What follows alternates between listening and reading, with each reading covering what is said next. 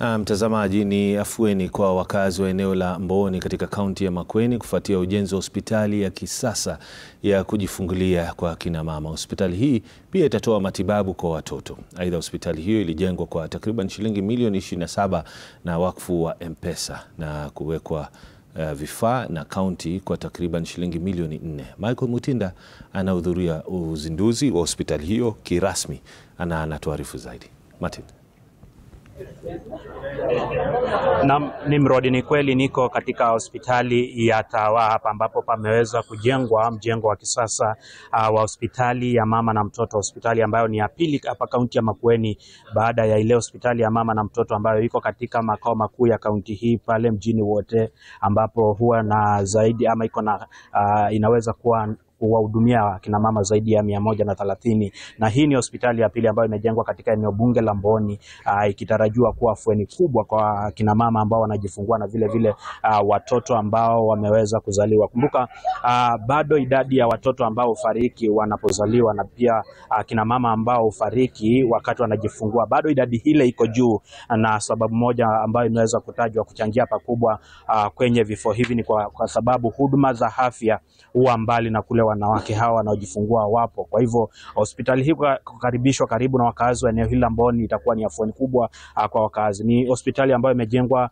uh, na wakfu wa M-Pesa uh, kwa takriban shilingi uh, uh, milioni ishirini na saba. Kwa hivyo acha tuanze moja kwa moja na waziri wa masuala ya afya hapa kaunti ya Makueni aweze kutuelezea. Karibia waziri, uh, uweze ku, ku, kuanza na jina na kutuelezea hospitali hii inamaanisha nini kwa kaunti ya Makueni na hususan eneo la Mbooni.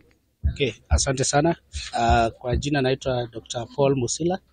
Mimi ndio waziri wa afya um, Makueni County na tuko hapa leo uh, kuzindua huu mradi um, Tawa Sub County Hospital au Tawa Level 4 Hospital ambayo ni hospitali ambayo imekuwa, lakini tulikuwa na changamoto za uh, maternity yetu ambayo ilikuwa na vitanda kidogo kama six beds tukaonelea tuongee na wenzetu marafiki zetu na tukapata kwamba uh, Safaricom uh, Foundation wako tayari kutusaidia.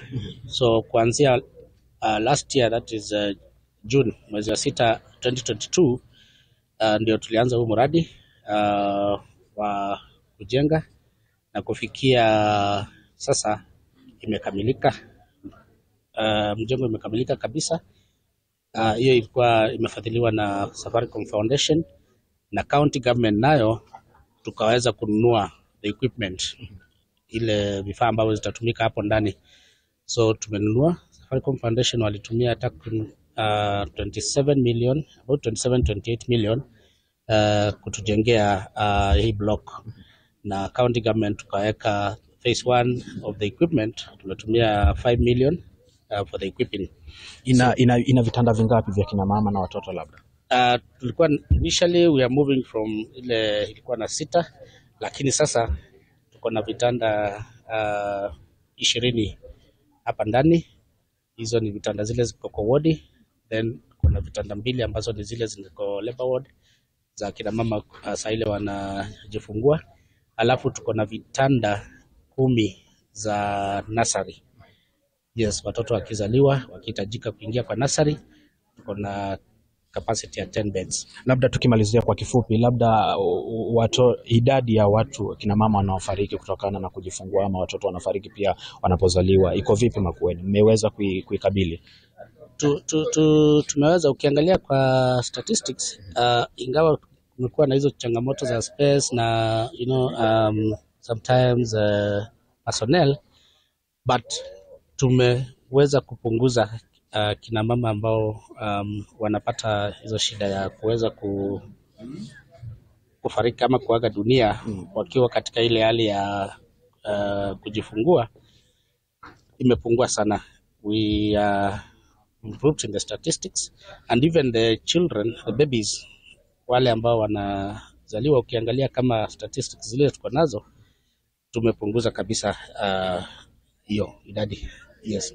Labda tumalizie na afisa mmoja wa uh, M-Pesa Foundation, utuelezee labda um, nini kiliwasukuma kufanya mradi kama huu katika eneo hili, tukimalizia kwa kifupi.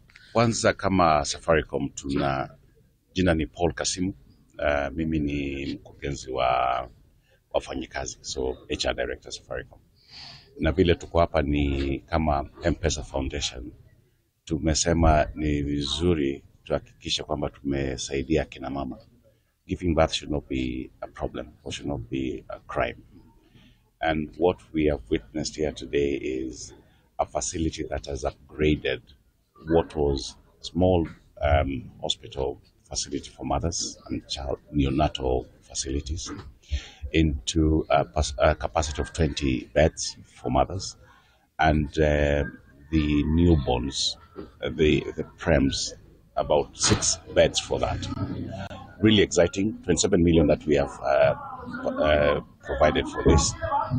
What is also exciting is that uh, as part of our community support on uh, education, health, water, we've also done several of these, including in uh, Lamu, where we impacted about 33,000 uh, mothers and reduced the distance they travel by 60%.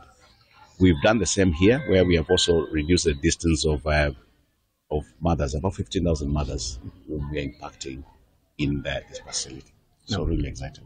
Naam, asante, umeweza kusikia Nimrod hapo anasema kwamba uh, uh, lengo kubwa ni kuhakikisha kwamba wanapunguza idadi ya wanawake ambao wanafariki ama watoto ambao wanafariki baada ya kuzaliwa, na umesikia waziri hapo akisema hii itakuwa ya msaada kubwa, na hususan wakati huu uh, kwenye hospitali ambayo ilikuwa na vitanda sita peke yake, sasa vitakuwa uh, vitanda ishirini. Kwa hivyo uh, wale ambao wanataka kubarikiwa na watoto basi hapa uh, watakuwa na shida yoyote. Kwa hivyo sina la ziada kutoka hapa. Naam, ni Michael Mutinda huyo akiripoti. Eh, baada ya taarifa yake tunakwenda mapumzikoni kidogo, lakini mtazamaji, usisahau tutakuwa na sehemu ya ukumbi ambapo tunawasubiri wageni wetu. Tutakuwa tunazungumzia masuala ya uwiano na utangamano.